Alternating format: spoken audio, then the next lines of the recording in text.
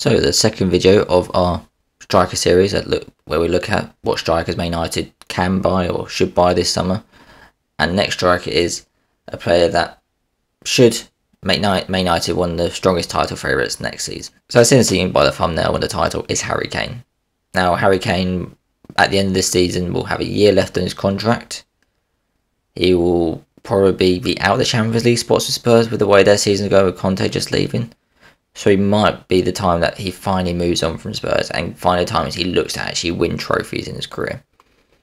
And could Man United be the only and most probable destination? Yeah. We'll first look at Kane's goal scoring record, which is pretty ridiculous to be honest.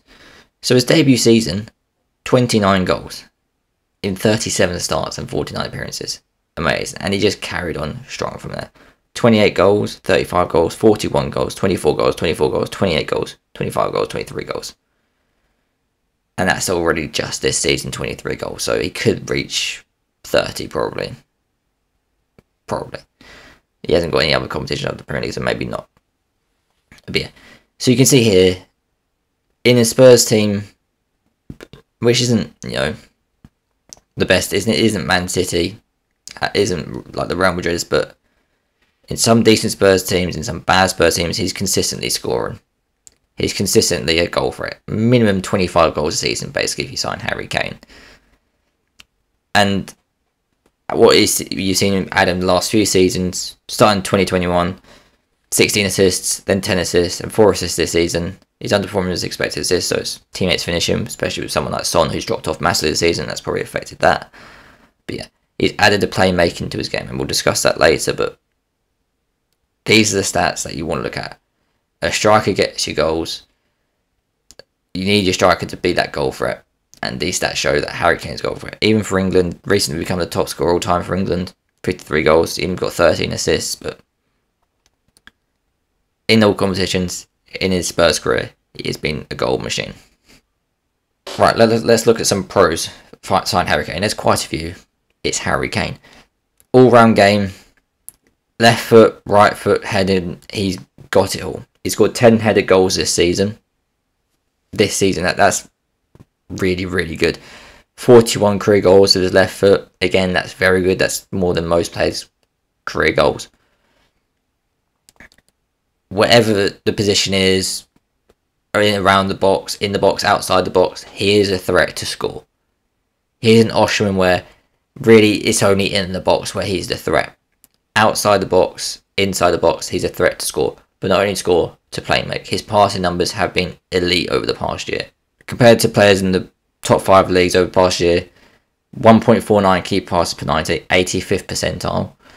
Top 2.59 passes into final third per 90, 95th percentile. 1.25 passes into penalty area per 90, 90th percentile. 4.73 progressive passes per 90, 95th percentile. 3.68 shot creating actions per 90, 89th percentile. 0.54 goal creating actions per 90, 88th percentile. Elite, elite numbers compared to other thought forwards. He is, he can do everything there is to be up front. Dribbling, he's got that as well. He's a good carrier of the ball. He's good protecting the ball. He's not obviously flashy with it, but he's a good, he's a decent player who can hold on to the ball quite well.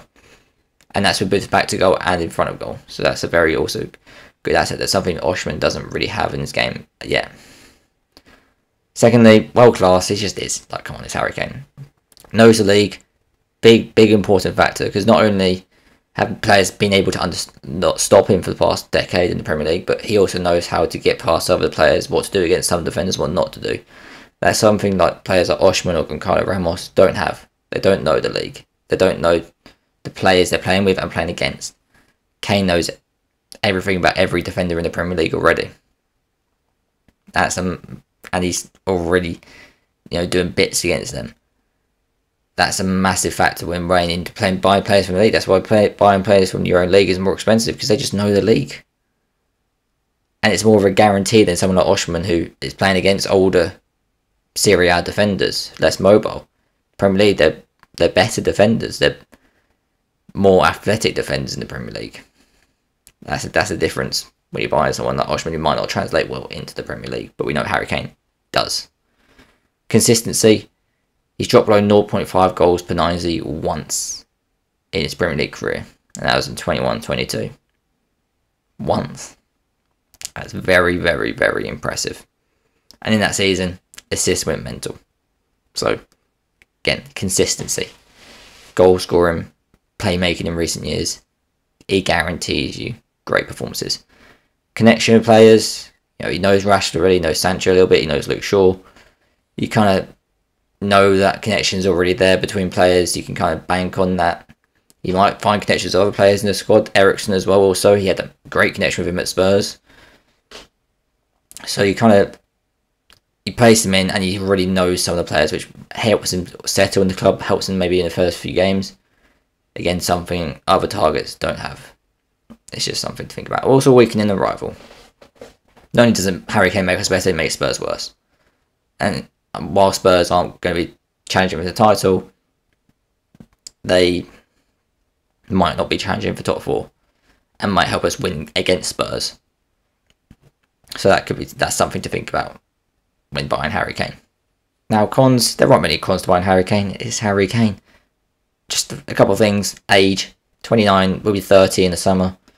So are you going to be paying like uh, another thing cost? Are you going to be paying a hundred million pound, hundred plus million pound, maybe massive wages, four or five year contract to a player that will only give you three, four years compared to Osimhen, who could give you seven, eight, nine. Something to think about. Something to think about. Also, age with the squad as well. We're not the youngest squad in the league. We've got players like Casemiro, 31, De Gea's up in his 30s. Varane might be approaching 30 or in his 30s. So something for somebody to think about in the squad. Would would rather not have an age where we have to replace so many players in a few positions at once, or have someone like Washington where we don't have to think about it for a few years, maybe? Because we know with Harry Kane, in four years, we will need a new striker. Or when we, we bring him in, we need a young striker alongside him to help to understudy him to improve under Harry Kane. And also lack of trophies. And now I know it's not always fault of Spurs, but you got got to look at the consistency at which he hasn't been winning trophies. And then some of those Spurs teams were amazing. They were quite easily the second, third, even best team in the in the country at some points. He didn't turn up. He's never turned up in the finals played him. I don't know how many finals played him, but the recent ones, Euros final, he didn't turn up in. He, he turned up in every game apart from the Euros final. Uh, World Cup semi final, mate, I'm going to say well, didn't turn up in that. Turned up in every World Cup game. League Cup final under Ryan Mason didn't turn up. What ones? Champions League final didn't turn up. He was a bit injured, but still didn't turn up. And then I can't remember any. I think he was in one other one at the start of his career. But yeah, he just doesn't turn up in these finals. He might turn up in big games. North London Derby is the top scorer ever, but is there a correlation between Spurs not winning anything and him being in the squad? Now, I'm not saying there is, but it's something to think about. Has he got that mindset to be the best to win the trophies, or is it more individualistic with him? That may be something to think about because if you look at someone like Rooney, he sacrificed himself for the team. He sacrificed his numbers to help someone like Ronaldo because he knew Ronaldo would win in the league.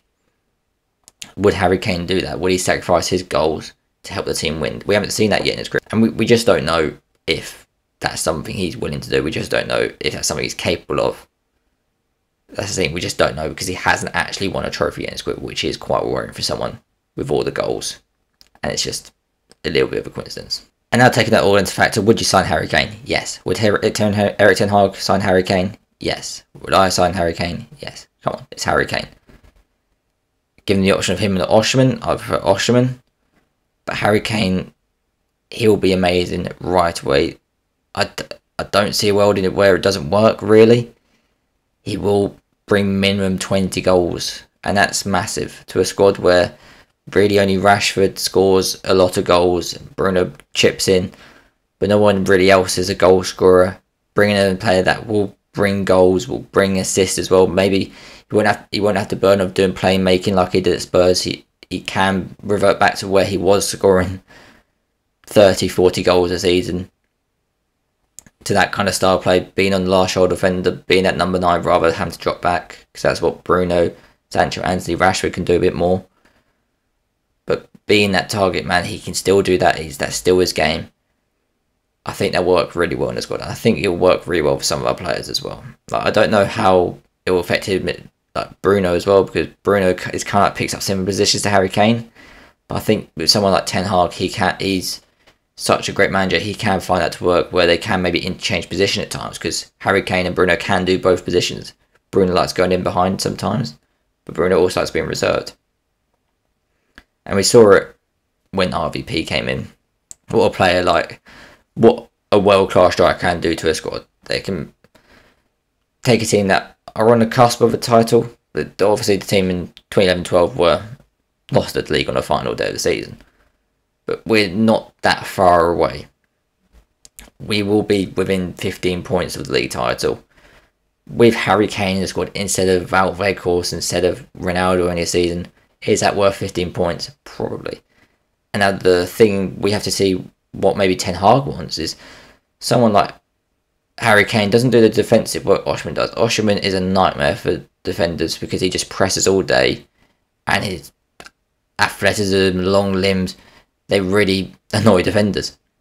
Harry Kane doesn't do that, but what he does do is he protects the ball better. He's, you know, better on the ball. He'll keep the ball more. You know, he got good back to goal game. He's got good in front of goal game, facing the goal. You know, what what's the caveat? Do you want a player who's better on the ball or better winning the ball back? With all the good play, ball playing we have in the squad, Maybe you want a bit more defensive work in Osimhen, but also we haven't got uh, elite, elite, elite ball players. We haven't got, you know, Uh, a Frenkie De Jong midfield. We haven't got like Luka Modric, who ball retention are, are absolutely off charts. Maybe having someone like Harry Kane who can retain the ball a lot better than someone like Osimhen. Maybe that will work better. Who knows? But yeah, Harry Kane will be an amazing sign for Man United if he signs. Not my first choice, but come on, it's Harry Kane. You can't complain about some sign like Harry Kane, but it will make it will put pressure on Man United to win a title right now. That's what it will do. It will put pressure and put the clock on what Man United need to do under Erik Ten Hag very quick. Thanks for watching. Like, subscribe, put in your comments where you think we should sign. Your thoughts if we do sign Harry Kane. Yeah, thanks for watching.